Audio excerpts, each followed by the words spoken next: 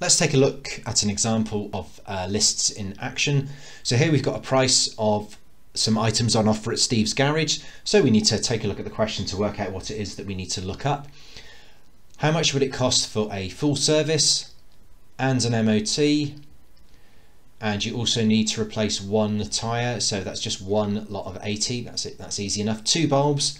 So two times 450 and one pair of wiper blades.